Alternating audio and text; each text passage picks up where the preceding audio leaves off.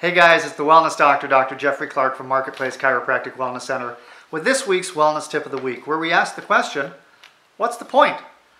As you can see, there are so many side effects of prescription medication, and so many of those side effects are the actual symptoms you're trying to treat. Let me just go over a few. Prilosec, a very popular drug used for gastrointestinal problems, has side effects of diarrhea, constipation, and stomach pain.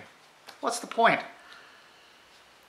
Advair, which is used to improve lung function in asthma. One of the side effects, difficulty in breathing and wheezing. What's the point? Valium, used to treat anxiety, causes depression. Zoloft, an antidepressant, causes severe mental changes or mood changes. Again, we ask, what's the point? So go ahead and review the list here and if you ever watch a commercial on TV for a prescription medication where it says, ask your doctor because this could be right for you, and then they list all the side effects, the side effects are worse than the disorder almost always.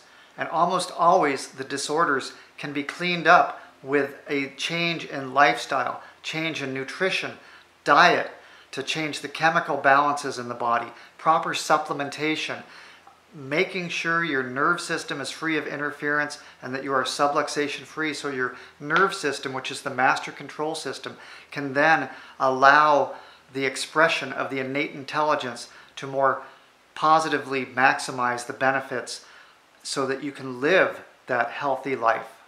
And that's what you deserve. So until next week this is the wellness doctor saying thank you and god bless